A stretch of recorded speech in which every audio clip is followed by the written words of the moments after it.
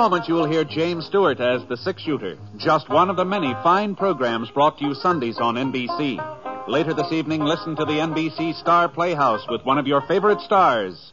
Here, Meet the Press, America's number one newsmaking program, and be sure to keep tuned for the dramatic story of communism in America on Last Man Out.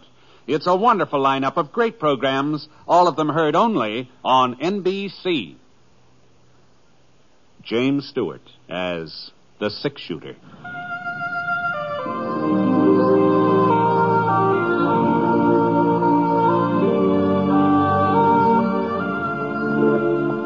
The man in the saddle is angular and long legged. His skin is sun dyed brown. The gun in his holster is gray steel and rainbow mother of pearl. Its handle unmarked. People call them both the six shooter.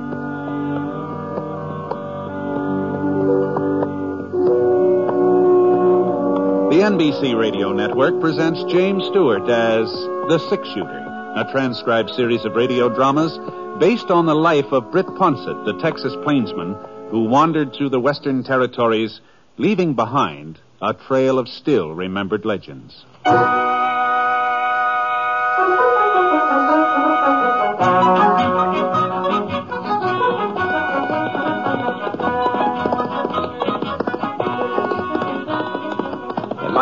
About four o'clock in the afternoon when I rode out of the Saucer Mountains and hit the flat, and Scar stretched his legs and went into a high lope. And, oh, he seemed real anxious to get across the eight miles of prairie between the hills and Clay City.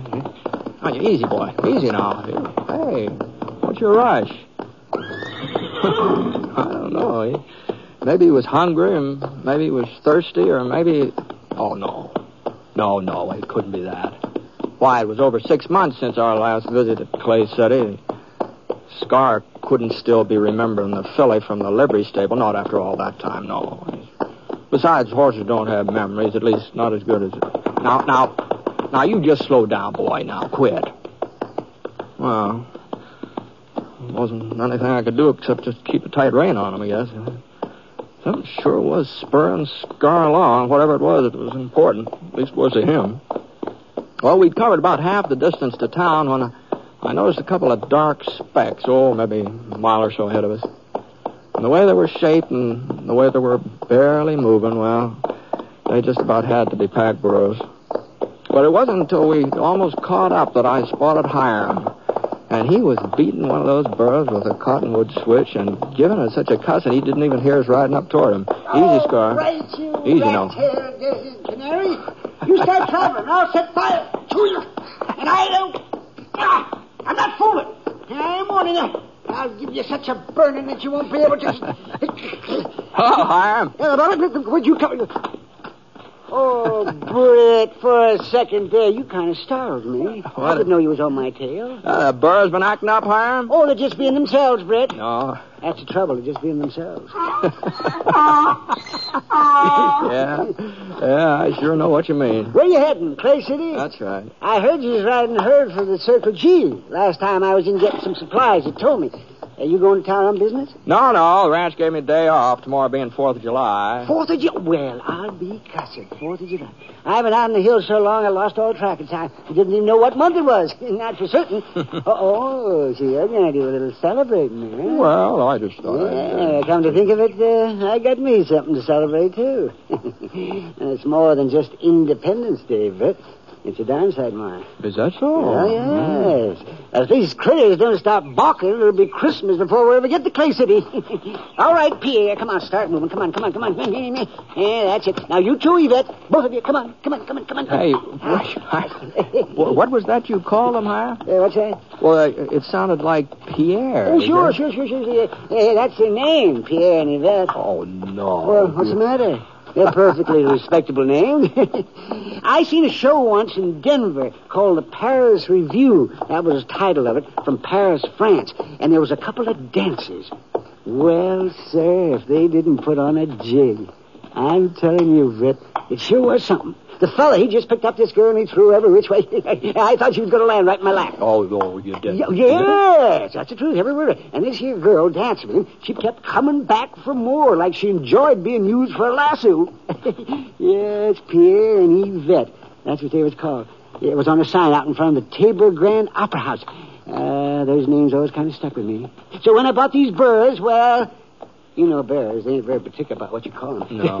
now, you just keep moving, Pierre. Come on, keep moving. That's it. That's uh, quite a load you're carrying there, Hiram. Yeah, sure is. Well. Well, I guess I'll ride on. Maybe see you in town, huh? Uh, hold up a minute, Brett. Uh, ain't you going to ask me what's in them bags? Well, no, I just figured it wasn't any of my business. Well, I'm going to tell you anyhow. Oh? Yeah, if I don't tell somebody, I'll bust.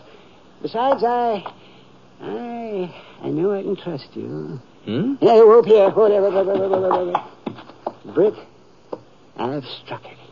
I've made a strike the like of which I never even dreamed of. Oh, easy, easy, Scar. Look at now. You see? You see this here sack right here? Yeah. This one right here? If it don't assay out to over a thousand dollars. A thousand dollars? That ain't the half of it. There's plenty more where this come from. Well, that sure sounds good. It Hiram. is good. Well, I just bet the vein I find it uh, delivers more gold in a year than they ever took out of California. Is that so?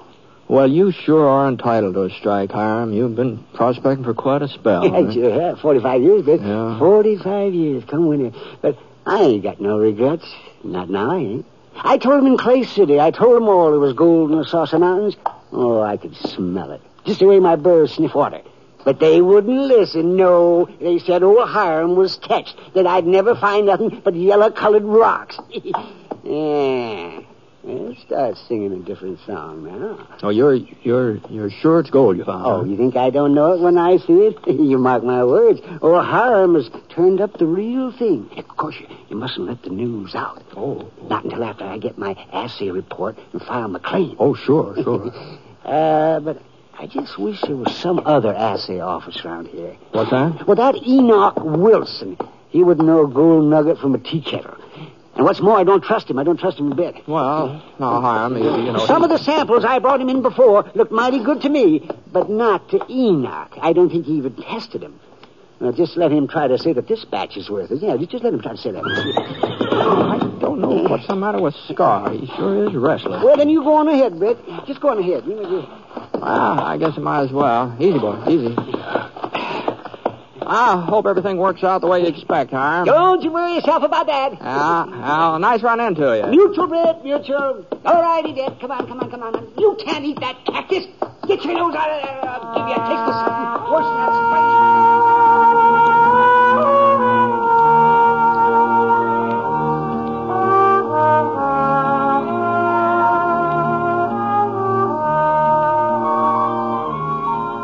sun was just going down when we got to Clay City. I figured on stopping at the hotel first, making sure of a bed, but Scar had other ideas. He headed right straight for the livery stable. There just wasn't any doubt about it. He'd remembered that filly.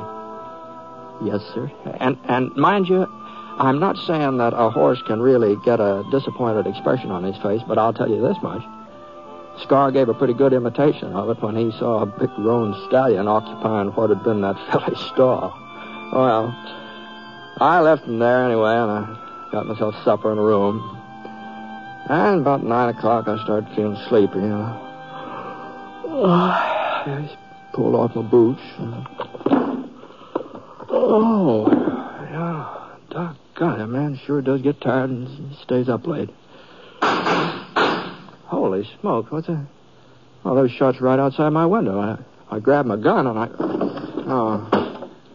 Oh, and then I saw I wouldn't be needing the gun. A couple of kids shooting off Chinese firecrackers. That's what I heard. Well, it didn't look like I was going to get much sleep that night. And the way things worked out, I sure didn't. Well, well yeah? Who is it? Hiram, Britt. I got to talk to you. It's important. Well, come on in. Oh, thanks, Britt. Thank you. Thank you. What's the matter? What's the matter? You look like you're getting ready for a real hard winter. Enoch Wilson. That's what's the matter. Remember, Britt, I told you I didn't trust him? Do you remember that when I Yeah, said that? Yes, yeah. well, I got me some proof. What's what's in Oh, no, it's, it's just uh, just some firecrackers, Hiram. And Enoch, he, what, he says you haven't found gold. No, huh? no, no, no, no, no. He ain't said nothing one way or the other. But uh, by the time I got the Burrs into town tonight, it was almost seven o'clock. Enoch was just closing up the assay office. Uh-huh. Well, I give him them sacks of gold, you see, and I said I wanted a report as soon as possible. And you know what he told me? I can't say as I do, no. Friday. He says I couldn't have no word because. He says I couldn't have no word before late Friday. Why, Britt, that's two days off. Well, tomorrow being a holiday. Well, that's the excuse he tried to hand me to. Oh, that lion skunk. Oh, you know, the 4th of July is a pretty important occasion. Well, that don't give him the right to tell me a whole pack of lies, does it? No, Well, no, no, of course, it doesn't, not. no. No. Anyhow, I had to leave my gold with him. I didn't have no choice. So I got me a bowl of Irish beef stew over at the O'Brien's Cafe, and then I went back to see about the burros. Uh, and that's when I noticed the light in Enoch's office. Oh? Yeah, so naturally, I was kind of suspicious, so I snuck up and, and I peeked through the window. You know what I saw, Brett? I haven't the faintest idea. He was a sitting at the desk, Enoch himself, getting ready to do some assaying. And if those weren't my three sacks of gold in front of him, I'll trade you a whole hog for a slice of bacon. That's what I'll do. Well, supposing Enoch was testing your ore, that doesn't prove anything. Don't you see, Brett? He's fixing to take my ore for himself. And once he makes up his mind how valuable it is, he'll do a little substituting. And I'll wind up with three bags of rocks when I come in to see him on Friday. Oh, now. Probably aims to find out where I got it, too. Oh, yes. File the claim himself. No, now that doesn't sound very Then likely. why did he say it'd be Friday before he'd know anything? Why did he tell me that if he was planning to work tonight? Well, if you're so upset about it, you should have just come right straight out and asked him. I'm going to ask him, Britt. That's just what I'm going to do. I'm going to ask him. But, but I want you there when I confront him. Me? Enoch's already lied to me once today. But if you're with me, if he sees you're my friend, maybe he'll think twice before he tries anything funny. Huh? Maybe I'll get a decent assay for a change. Well, I'm afraid I don't understand where I come in. This Enoch thing. knows you, don't he? Knows that you're the six-shooter? Well, we've met up a couple of times. Yes, well, come on then. But let's get over there while we can catch him Now, red-handed. wait a minute. Now, hold on. Brett, you know how much this strike means to me. You ain't gonna let anybody swindle me out of it. No, Well, no, then hurry no. up. We ain't got all All night. right, all right. Just give me a chance to tuck in my shirt tail.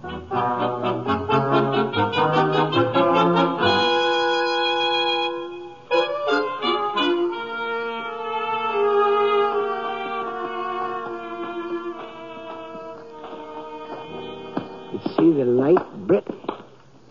He's still here. Now, you just remember one thing, Hiram. This wasn't my idea. Sure, remember sure, that. sure, sure, sure. I remember that. Who is it? What do you want? Hiram Garver. That's who it is. And Britt Ponset is with me, too. So you better get this door open. Now, Hiram, you, you just remember. Howdy, Brett. What's the trouble? Well, I, uh, There you are, over here with... There you are. There. You see right there? See? Them are my sacks. Of course they're your sacks, You see? You see? He ain't denied it either. Hiram, are you going loco or something? I'll do the asking, Enoch. and You'll do the answering from now on. And you better not lie in front of Britt Ponset either. Huh? I thought you said you wasn't going to be able to assay this horror before Friday. What if I did? It appears like you changed your mind, don't it? Well, Britt wants to know the reason. Well, it was just that you were kind of anxious, that's all. And your stuff did look a little more promising than Hey, usual. what'd I tell you, Britt? Yeah, what'd I tell you? Yeah, he knew it was good. I said it looked promising, Hiram. Promising enough so you try to cheat me out of it, eh? Well, you're not getting away with it, Enoch. The six-shooter here will see to that. Now, now, just hold on here. Hiram Grover, I ought to throw you right out of my office. If I was trying to cheat you, would I have sent word for you to stop in tomorrow morning before the parade and get your assay report? You just... You just... You sent word? You just asked Mike O'Brien. I was over at his cafe looking for you. You'd already left, though. I told him if he saw you to give him the message. You... You told Mike? Well, Hiram, Well, doggone it, Britt, how was I to know? you think he might have stumbled into something, Enoch? Real strike? Well, ain't positive yet, Britt, but some of the samples are mighty encouraging. A couple more tests. Evening, gentlemen. Who, who, who, who are you? Don't turn around. Just grab for some air. All three of them. Well, now, you Come on, just wait come a minute. on. Do a little stretching before we. That's better. It was real considerate of you to stay open tonight, mister. Saved us the trouble of breaking it. All right, Thad. Let's start loading up.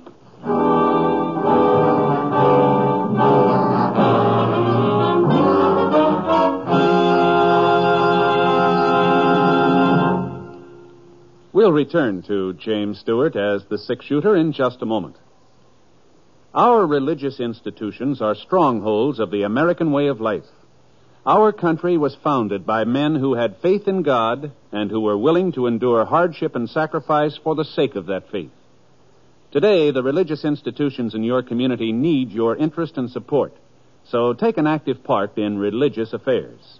Your pastor, rabbi, or priest will give you invaluable family counsel and aid if you are a newcomer to the community. To face the problems of the future, America must be morally strong. And that moral strength comes through worship and faith. Go to church this week and take someone with you.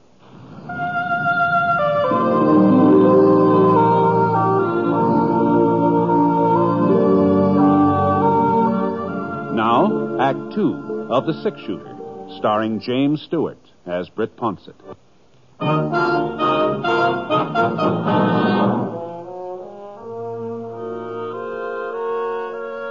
Guys in leather jackets, both carrying 45s. They're about the same build, same color, and look enough like to be brothers.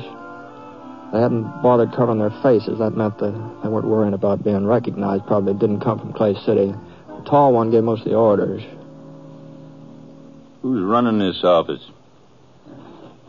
Will somebody speak up? I, I, I, I, I do the assaying. That's more like it. And you'd be the fellow who'd know how to open this safe. Well, uh, ain't really nothing worth. Cut out the stalling, mister. Get over here. Move. Oh, okay, oh, okay, okay. Enoch saw he didn't have much choice. So he bent down in front of the cast iron safe. and started fiddling with the dial. The other outlaw, the short one, he was standing beside the desk.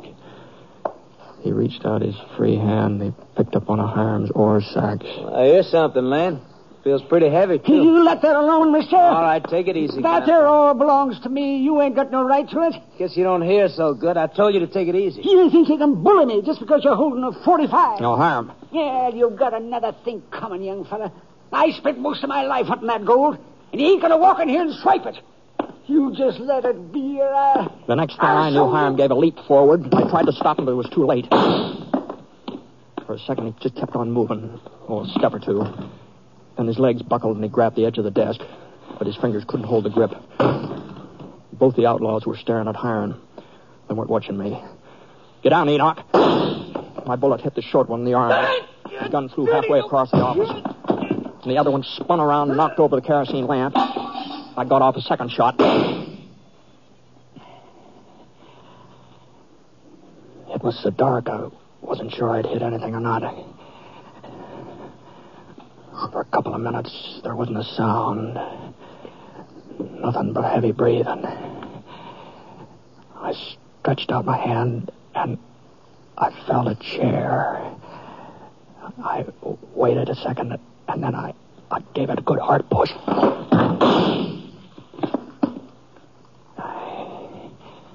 Sure had good ears. The bullet splintered into the chair before it even toppled over. But the flash of his gun showed me where he was. Crouched right behind the safe, out of range. I edged over to the right. If I could just get past the window without him seeing me. I made a dive and fired. Enoch lit up another lamp. The boy that was shot in the arm, he hadn't passed out. He was just lying there, staring at me looking even younger than he had when he first came into the office. The other fellow, he'd taken a bullet in the shoulder and he was bleeding pretty bad. But Hiram, he was worse off than either of them. He was flat on his back, gasping for breath. There was a big red splotch on his chest, and his mouth was covered with sort of a pink foam like. It's a good thing Doc Nibble's house was in the next block.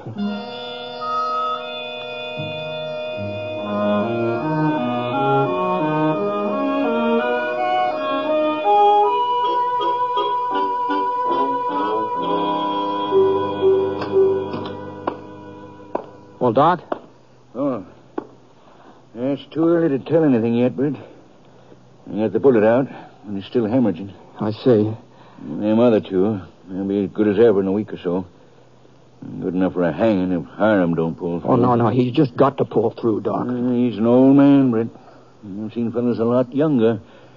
Yeah. Well, you better get yourself some rest. It's almost 4 a.m. Well, I, I thought maybe I... Well, there's nothing you can do here. Ain't a chance of him coming to before morning. I, I was standing right beside him when it happened. I could have drawn, maybe, and then... Uh, maybe then you'd both be shut up. And I'll see you in the morning, Britt. Well,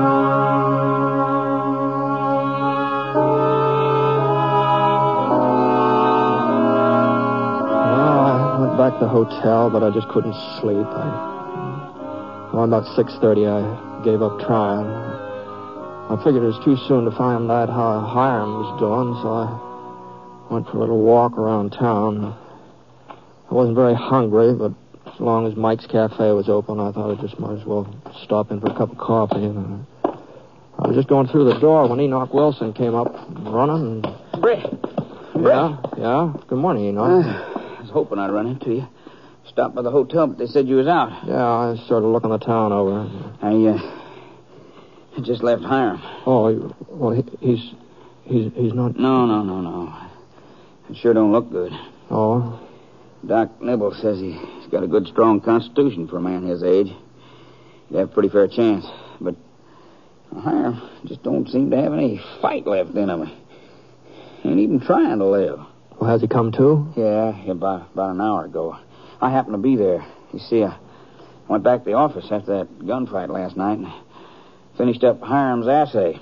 Oh, Well, I thought maybe if it turned out to be something good, well, I, I wanted Hiram to, to know about it before he. oh, yeah. Well, that was mighty thoughtful of you, Enoch. Yeah, and, and it is good, Britt. A real strike. Well, well, didn't you tell Hiram? Oh, sure, sure. I, uh, but but it, well, it didn't seem to make no difference to him. He, he just nodded and sort of dozed off uh, like he didn't even care. Is that so? And Doc don't understand it neither. You'd think, if anything, it'd make him want to live. Knowing he'd found gold sure turned the trick. Yeah, yeah, you sure would. Maybe he figures I'm lying to him because he's so bad off. Uh huh. Well, I guess it could be that. Yeah, yeah. So, so we thought, uh, Doc and me, uh, we thought, well, uh, maybe if he was to hear it from, from you, well, uh, Oh, sure, sure, Enoch. I'll I'll go right over there. Sure.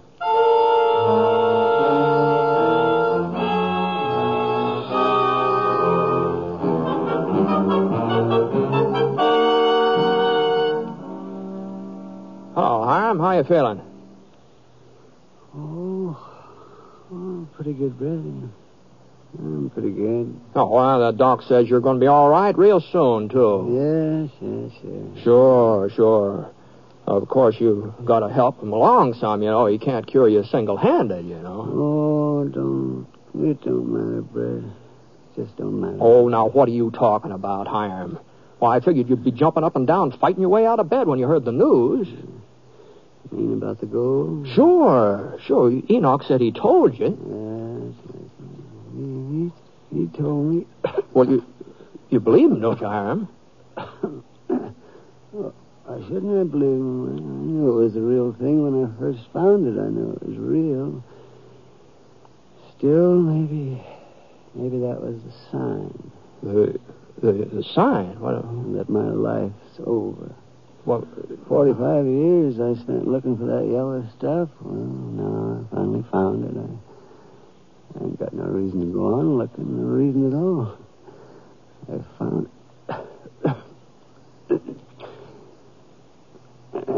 I'm awful tired, Brett. I'm awful tired.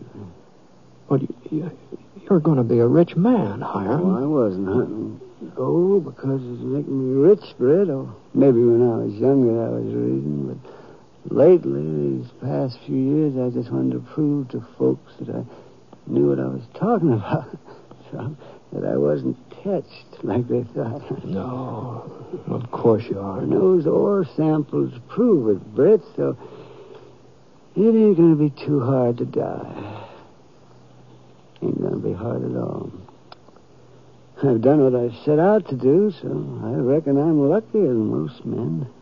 Well, I, that's one way of looking at it, I guess. Yeah, it goes to show you things work out for the best, Brett. For the best. Yeah. Well, uh, maybe Enoch did the right thing after all, so. Mm. uh, Oh, nothing, nothing, Hiram, nothing. I, no, you better get some rest. She, You- she started to say something else about Enoch. Uh, huh? Did I? Yes, finish it up, Richard. What was that you were going to say? Uh, what, what I was going to say. Uh, well, now, you're a pretty sick man, Hiram. You, I wouldn't want to get you all upset. Uh, Oh, they're upset. What are you driving at, Brett? well, uh, you're weak and feeble, and it wasn't my idea, of course. Well, you, you, you don't mean that Enoch uh, was lying to me that that ore wasn't full of gold? Uh, now, I didn't say that. I know Hiram. Enoch I, uh, Wilson couldn't be trusted, so it ain't true uh, about my strike. now, Uh, uh, so they figured I Hiram? was going to die, didn't they? Then they'd all have the laugh on me. But I ain't going to be that obliging. I'll get well if it kills me. Uh, And I'll find gold, too, uh, right out there in those mountains where I always said I'd find it. Oh, they think they're going to soft soap me into kicking the bucket, don't they? Oh, they do. Well, Britt, you just tell 'em different. I'd be glad to, Hiram. I sure would be glad to.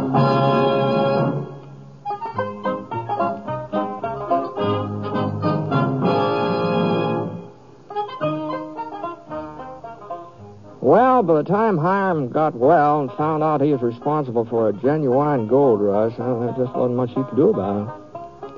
And the way the money poured in, uh, faster than Hiram could spend it, no matter how hard he tried. He sure went in for some fly-by-night schemes, too. Like that with that organizing a prospecting expedition to go up to Alaska, someplace called the Con, uh, the Klondike, I think it was, something like that. Everybody knew he'd never find gold up in a place like that because uh, they're all expecting him to come back any day now. Admit that it was just a wild goose chase, but uh, but he he hasn't shown up. Last time I was through Clay City, folks are beginning to wonder what's keeping him.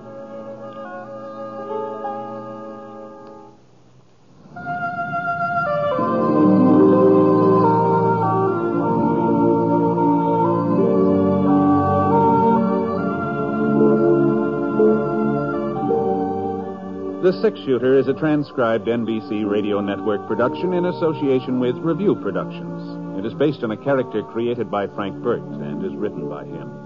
Mr. Stewart may soon be seen in the Universal International picture, The Glenn Miller Story. Others in the cast were Herb Vigran, Bill Johnstone, Barney Phillips, Tony Barrett, and Howard McNear, who played Hiram. Special music for this program was by Basil Adlam, and the entire production is under the direction of Jack Johnstone. All characters and incidents were fictitious, and any resemblance to actual characters or incidents is purely coincidental. This is Hal Gibney speaking.